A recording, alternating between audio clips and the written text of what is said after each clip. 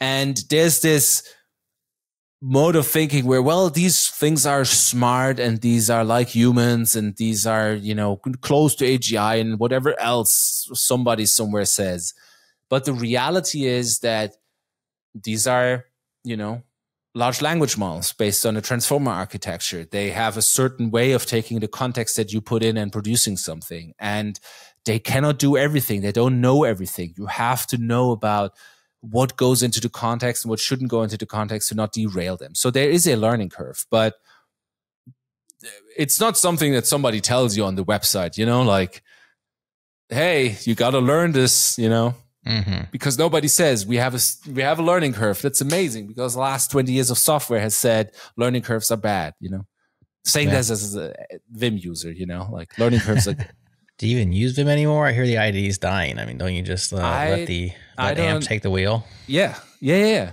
Like that's that's a, a hot topic. Like I said, this. I, I, I, yeah, I know it is. I've been bringing it up nonstop. Yeah. Do you use Vim or not? Yes or no? Yeah, exactly. Not anymore. I use my AMP Vim mode in VS Code, but I don't honestly. I don't type that much code by hand anymore. Like right. it's truly crazy. I I mean, say that again. Just, say that one more time, clear. Okay, so the journey, in some sense, of the last one and a half years was that I I worked at Sourcegraph. I wanted to try something else. I wanted to go as hardcore programmer as I can, and I went to Zed, and we built a text editor in Rust from the ground up with our own, you know, GP GPU framework and whatnot. That's truly some of the best programmers in the world work in that team. And it's truly a, an amazing product. It's amazing code base. I feel like I've reached the core of what programming can be.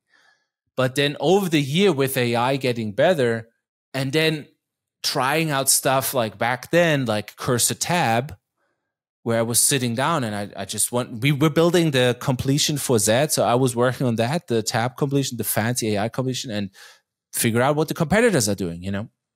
So I tried out tab, uh, cursor tab. And I was sitting there and I would change a switch statement or whatever it was, like some repetitive thing where back in the day, I would have been so proud to pull out an amazing, impressively good Vim macro and I would just start typing like a console log or something in one of the switch statement cases.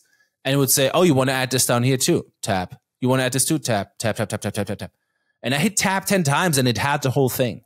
And I sat there thinking, damn, like this is faster than I will ever be. Like all of the Vim, you know, I'm going to use Colemak and I'm going to use Quickscope and Vim and blah, blah, blah, blah. I'm like, you now have models that are faster than you at doing this. If if if you have like a CSV file or something and you I don't remove the last column, I would have done this, you know, selecting normal mode, jump to the end, delete, blah, blah, blah, or macro and repeat it for 990 times and whatnot. Now with these models, you could just remove the first column, second column, it would go, you want to remove all of the column, like the last column, tap, tap, tap, tap, tap.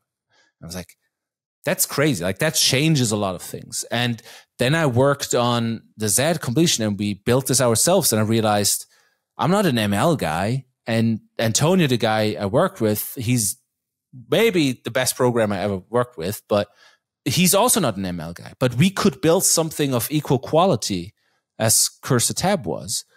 And I was sitting there thinking, this truly is going to change a lot of stuff. Like if if if like an open source model, like you can use a Qwen or DeepSeek or whatever, if you can turn this into a completion model that edits code faster than somebody who's really good at Vim, myself, right? If it's faster than I I can be, like that has to change stuff. That has to change stuff in DevTooling. And then after that moment, I had this thought of like, you know, I don't know how to phrase this in a in a way that doesn't offend anybody. But um, go ahead. This thought of offend away. Are the yeah? Am I working on a horse carriage? You know, like by working on a text editor. Am, gotcha. am I am I oh, working? Dang. On, I don't mean it, that, you know, but it's just this like.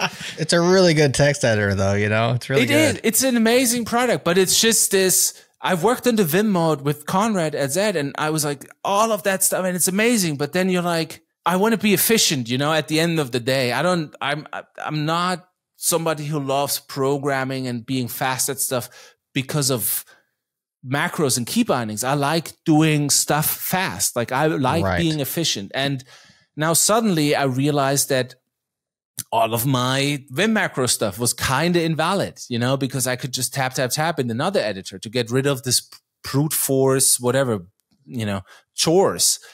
And that changed a lot of stuff. That changed a lot of stuff with how I look at developer tooling. And then basically I, you know, just to round this up, I looked at different other companies and talked to different other people.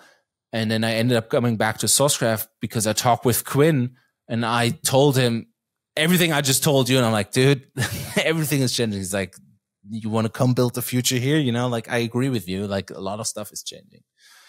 So yeah, that's, and now I'm, I'm working in VS Code, which I've never wanted to do. And I don't like VS Code. Like aesthetically, I don't like it, but it's yeah. just, I also realized I don't care that much anymore. And then I thought, am I the leper here? Like, is this what's going on? And then I talked with a bunch of other people, colleagues at Sourcegraph and people I met in San Francisco or at conferences, and they use AMP too or they use Cursor Windsurf.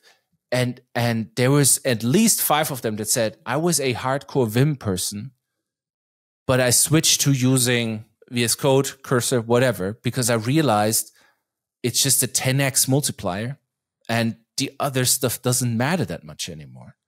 And if you were to ask Primeagen or TJ or whatever, they would give me for saying this, of course, but it's I had this feeling, and a lot of other people have this feeling too, that the the age of fast mechanical movement in an editor it's kind of over when you have like these models that you know are much faster than you and when you project out the future that these things are getting faster and cheaper and that maybe surely you will have this running on your laptop, right? And then it's like instead of having your Vim key bindings and Colemak and a split keyboard that you can put up vertically or whatever it is, you just talk to a computer. Maybe I don't know, but sure.